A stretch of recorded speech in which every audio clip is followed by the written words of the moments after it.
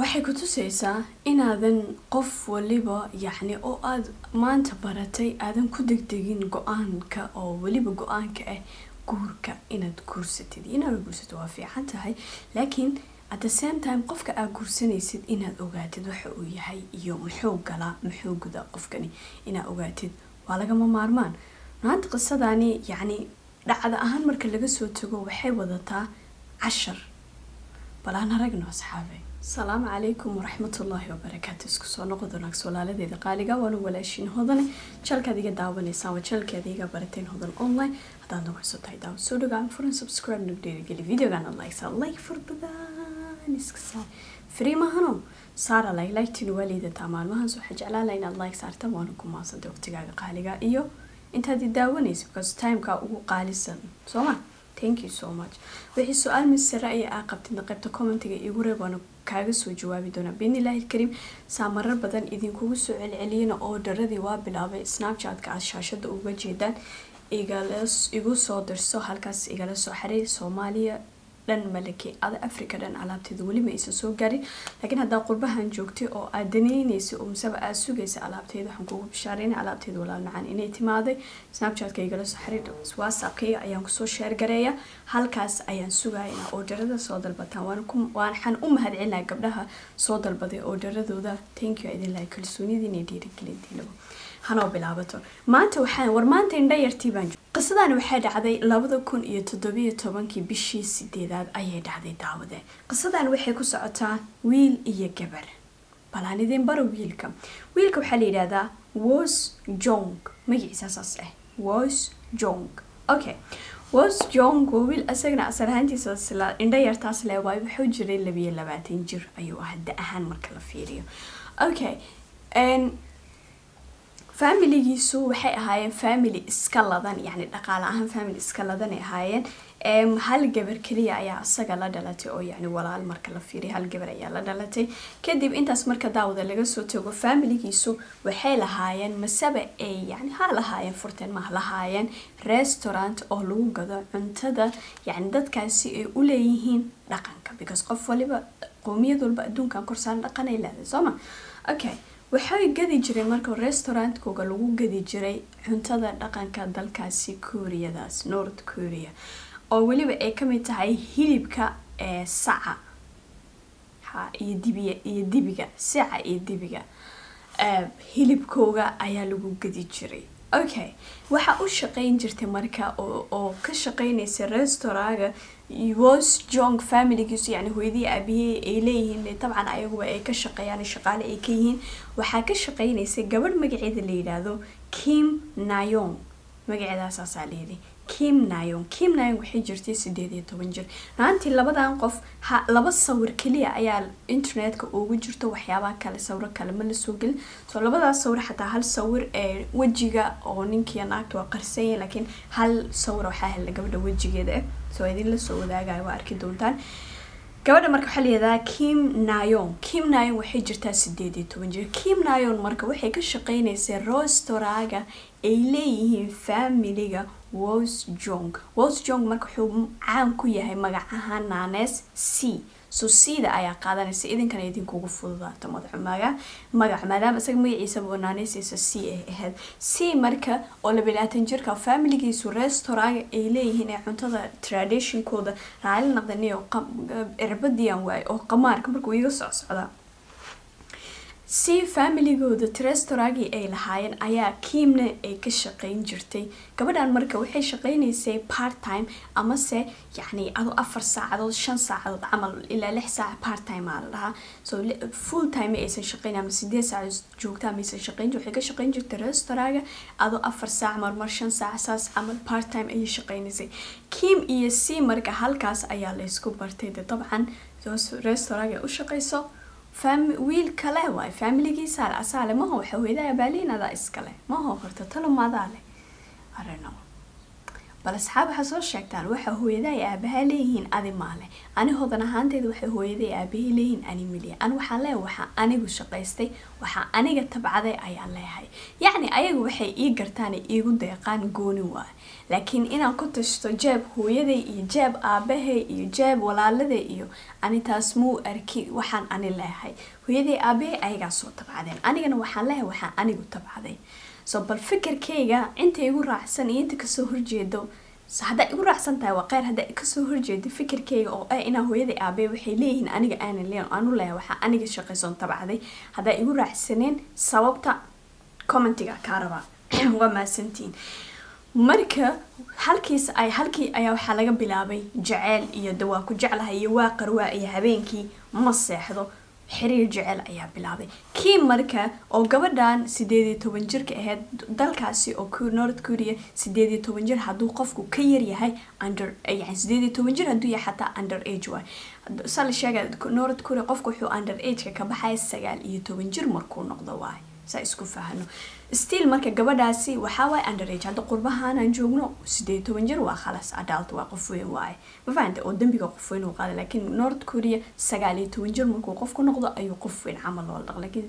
ilaa sideed iyo toban waa ilmo yaray dhahaan. Okay gabadhan marka faamiligeedu xiriirkan waa ay ka soo horjeedeen waxay ku dadaaleen marar badan inay ka reebaan gabadhooda ninkan in uu xiriir yacni jaceylba uusan dhex marin ayay diidanayeen.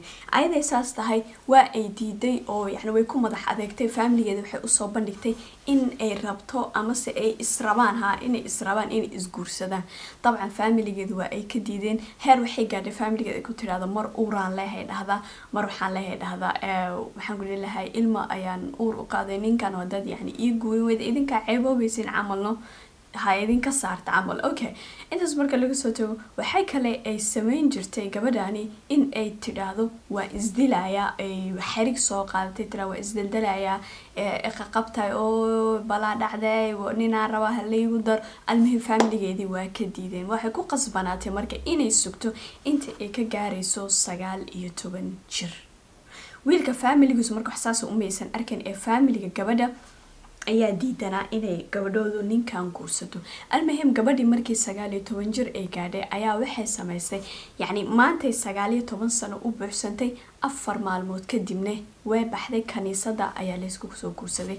Faamiligeedana uma aysan sheegin hooyadeedu maysan sheegin aabeedu maysan sheegin yani waxayba taagan tahay shalay dhan waxaa idiin tuugaya igu darma aheenuha ka xaxaabsada maanta waaweynada anaa ismeerinaya camal waay salaama min kulli afaad okay waa laysa soo guursaday markii telefonadhaiskaba markii la isguursaday kadib oo de dabcan faamiligeeda hooyadeed aabaheed walaaladeeda oo ogeen markii ay guursatay ninkii kadib week after one weekba waxay u soo sheegtay family by phone say waalidkeedu ay sheegayaan. Telefon ahaana faamiligeed waxay ku soo tiri yani waa ogtiin already inaan guursaday laakiin aniga ninkayga waxaa u soconaa shahra casal. Okay sheeko ku nacay shaaric casal ayaa u soconaa waxaan u soconaa japan. Magaalo la yiraahdo usaka i hope inaa magaca sax u dhahayo dalkaas japan magaalo la yiraahdo usaka ayaa waxaan u soconaa holiday. Amase shahri casal ayaa u baxeenaa markasaas oo la socda okay wii kadibbo waa baxeen ayada iyo ninkeedii oo ah magaciisa c markay baxeen kadib oo yacni maanta oo kale ayay magaalada usaaka ay ka tegeen hoteelay degeen hoteelkii tudays kaliya markii ay deganaayeen. Ayaa waxaa laga warhelay ninkeeda c interreceptionka soo waca inuu yiraahdo ambulance. Iyo waxa gabadha yani gabadheyda ayaa lahaa dhahay laakiin xaaskayga ma dhaqaaqayso mana neefsanayso mana ii jawaabayso. Almuhim isla markii ambulance ayaa loo wacay booliskina waa imaadeen ambulance wuxuu meeshii ku cadday inay gabadhani maid ay tahay already ay mar horeba naftu ay ka baxday dabcan roomka oo hosbitaalka roomka oo hotelka gudaha camera ma ku taalo? Qof saddexeeyaana lama joogo meesha waa lamadooda iyo ilaahay. So ninkii marka dabcan la waraysi markii la bilaabay ee ninkeedii la wareysanaya wuxuu sheegay wuxuu yiri aniga xaaskayga markii yani iigu dambeysay salowtada ayay fadhiday ahayd aniguna shower ayaan u galay musqusha waa soo qubaysanay ahayd oo weliba bath ayaa yani bath oo deep ayaan ku jiro yani xooga yaa isku dhaqaayay. Markaas marka sorry saxaabi marano يعني دي يعني يعني حوغا قبيسناي I don't know what reason ka u sheegay laakiin ma sheegi kari almuhim wuxuu yiri waa qubeysanay so markaas soo baxay waxaa arkay xaaskayga oo dhulka jiifta waa gadgadiyay intaa taataabtay waa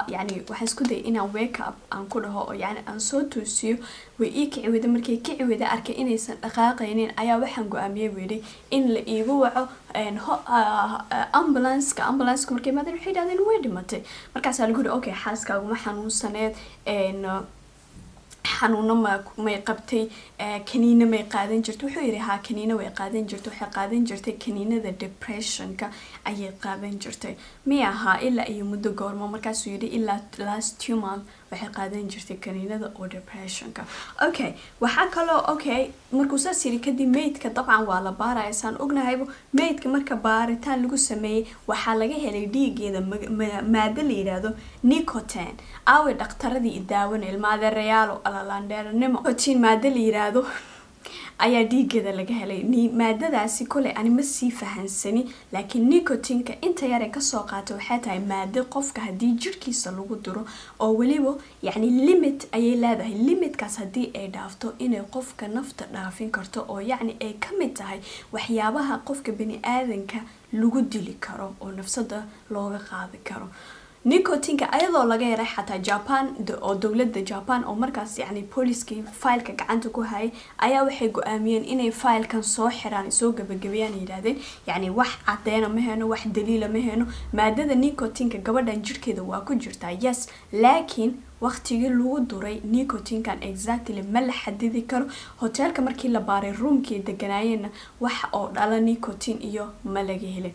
Marka aniga hodan ahaanta yani maskaxdayda yar waxay isiisay in uu ninkani nicotinka marka uu gabadha duray kadib yani waxaa dhici karto in afar iyo saac ka horba gabadha la duray nicotinka oo yani ajashiina meesha waa jirta laakiin sababtiina ay timaaday. So waxaa dhici karta afar iyo saac ka hor inuu duray okay macquul ma aho waa dhici karta.